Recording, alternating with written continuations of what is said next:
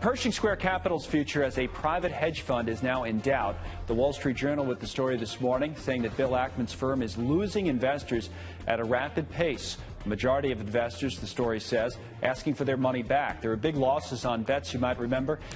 The, uh, the drug maker Valeant Pharmaceuticals was one of those big bets where they lost out. Herbalife as well, costing the firm billions of dollars over the course of the last three years. Ackman's not giving up, though. He and his partners are said to plan to buy $300 million of the firm's stock, signaling a belief maybe in the value of the portfolio.